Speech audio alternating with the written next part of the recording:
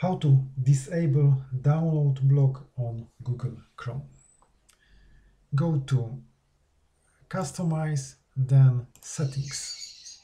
Here scroll down to advanced and choose sync and Google service. Here you can turn or you can disable safe browsing. So if you couldn't download a file now you will be able to do this. But you turn off this option on your own risk because uh, Chrome try to protect your computer. So make sure you know what you are doing.